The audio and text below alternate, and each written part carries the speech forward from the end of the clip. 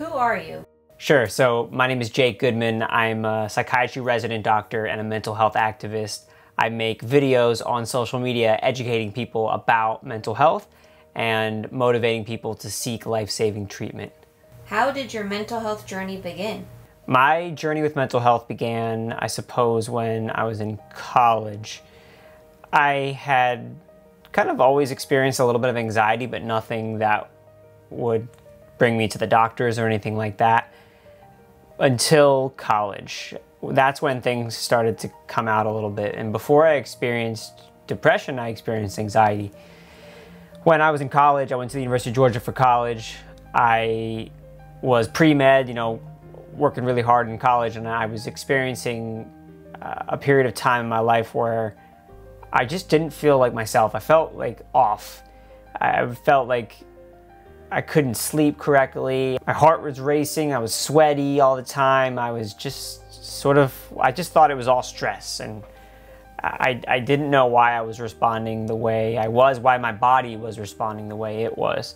And I decided to go to the health center. I, I always remember the first time I went to the health center, I explained to the doctor all my symptoms and they they ran all the blood tests on me, checked my thyroid, right, like all the different types of diseases that I thought I could have. You know, maybe I have hyperthyroidism, or you know, I'm, I'm probably on WebMD a little too much, so who knows what kind of diseases I thought I had.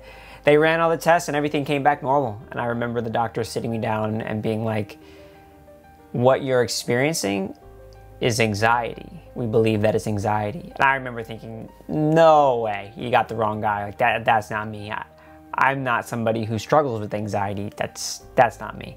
And I really basically walked out of the doctor's office and thought, like, that doctor has no idea what he's talking about.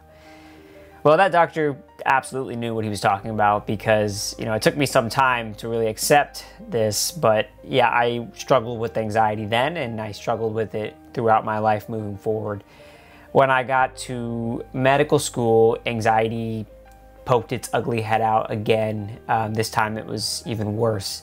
You know, basically studying full time in medical school, 70 hours a week, if not more. Uh, the major stressors that occur in medical school, it just felt like so much pressure and that periods of time again where I was really struggling with sleep. I, I just had low appetite. I wasn't really myself.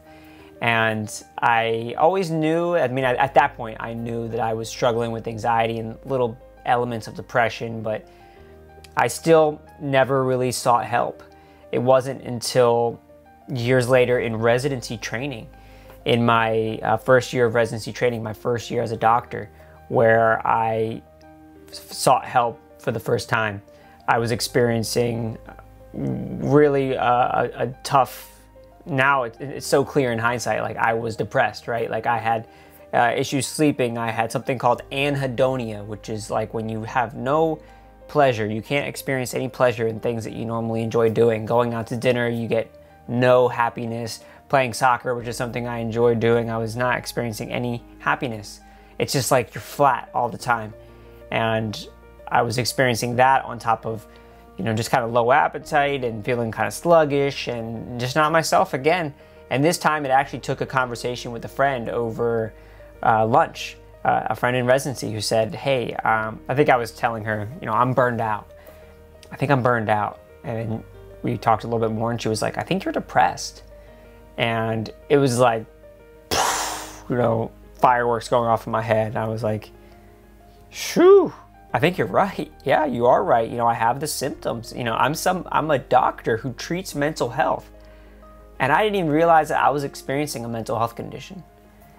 And that just goes to show you that sometimes you need a little bit of a push from somebody else in your life to say, you know, it might be time to, to seek help.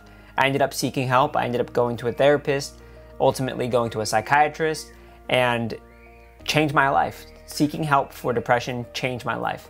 It, it really did. After that experience, after I went through therapy, I started to feel better and went to a psychiatrist and started to feel better, you know, over the weeks and months. I ended up actually posting about it on social media. I posted a, a, a photo of me with a pill on my mouth and with the caption, uh, My name is Dr. Jake. I'm a physician who treats mental illness and I take medication for my mental health. And by the way, I'm proud of it. After I hit post, that that photo really changed my life and took me on the trajectory that I'm that I'm on now.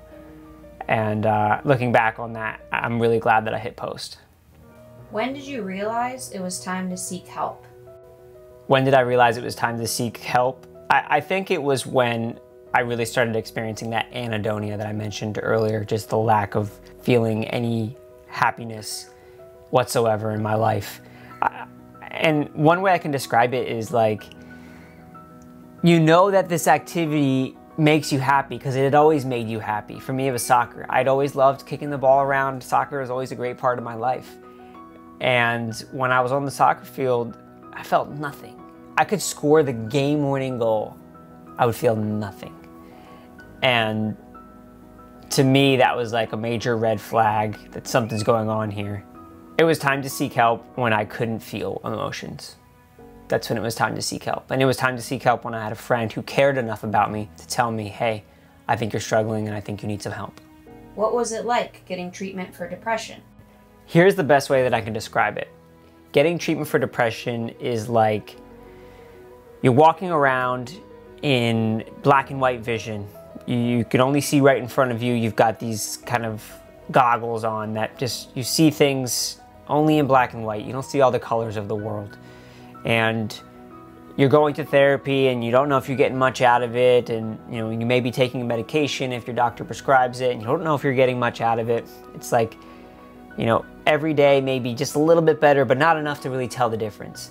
And as the days go on and the weeks go on, all of a sudden, you know, a couple months go by and you realize, oh, whoa, I can see the colors. It's like you put on a pair of glasses and now it's like, whoa, I can see around me. I can see so clearly now. And the the colors just everything looks so much more bright. It's not it's not just black and white anymore.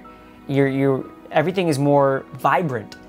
And that process of coming out of a depressive state is an incredible feeling. It, it, truly is.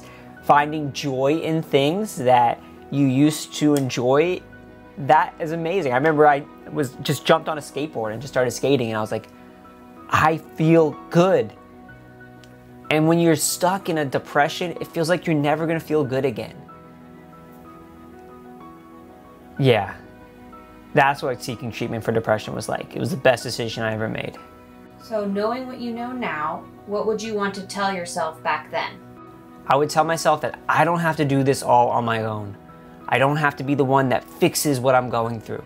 I can reach out for help to professionals whose job it is to help people who are struggling with mental health. I would tell myself to go to a therapist earlier, way earlier than I ended up going. I would tell myself that it's okay to go to a psychiatrist. I would tell myself that I don't have to be alone in this process.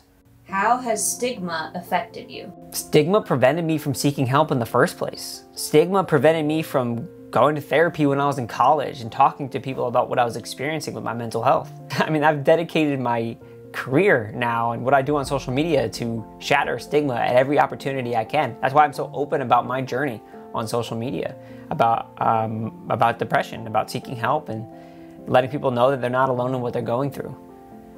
Stigma literally kills people. It literally kills people every single day because people don't seek help. Stigma prevents people from talking about what they're going through. And if we don't talk about it, we're struggling in silence. And people are losing their lives out here. So, stigma is uh, my worst enemy. I fight stigma every day. What's one mental health myth you'd like to bust? I think so many of us feel that what we're experiencing, no one else would understand. No one would know, you know, that we stay up at night and can't sleep or, uh, you know, that we can't get certain thoughts out of our head. No one would understand. But in reality, so much of us experience these symptoms uh, throughout the world. What you're going through, someone is going through something so similar.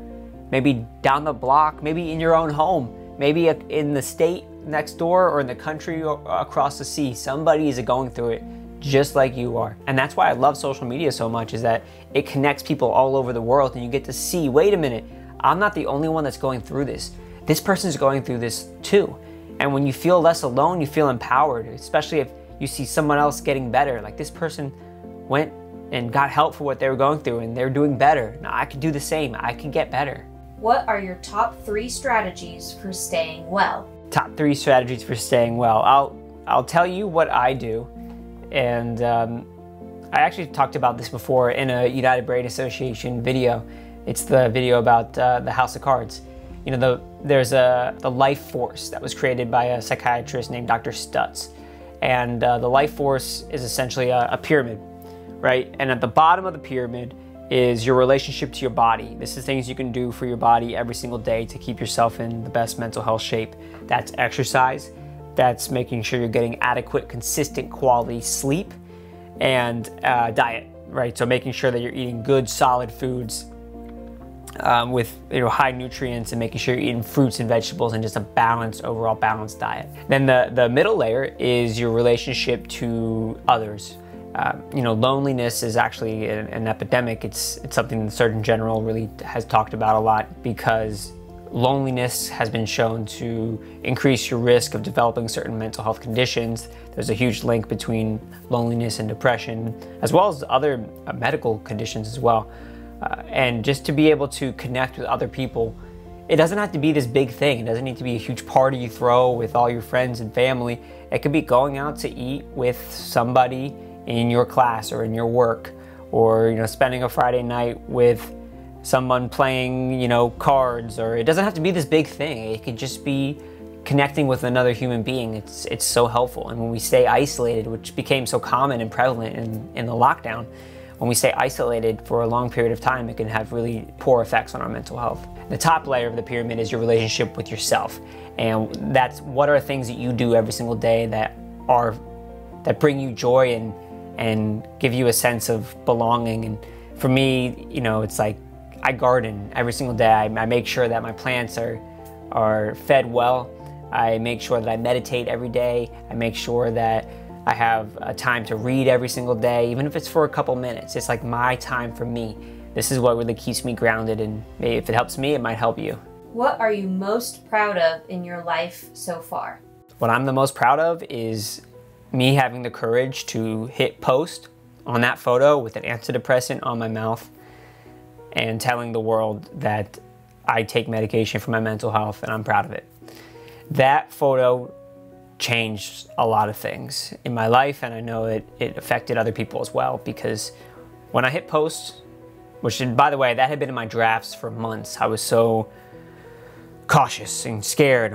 What I, what happens if I hit post? You know, people might view me differently. You know, what? Ultimately, I came to the conclusion of this post has the potential to help so many people, especially in the medical field. There's so much stigma against reaching out for help in the medical field. And I knew that this post, know, at the time, I think I was the most followed resident in the country. As a resident doctor, you know, studies show that one in four resident doctors experience depression throughout their training. For me to hit post on that and to let others know that, hey, I'm a resident doctor and I take medication for my mental health, I go to therapy for my mental health, and I'm still here. I'm still a doctor, and I'm a better doctor because I went and got help instead of suffered in silence. For me to hit post on that and, and have people all over the world really resonate with that. I got thousands of messages. I woke up in the morning, that thing was viral beyond belief. I got thousands of messages from people saying thank you for sharing that. You know, I also struggle with my mental health, or my mom or my dad or my sister struggles with their mental health.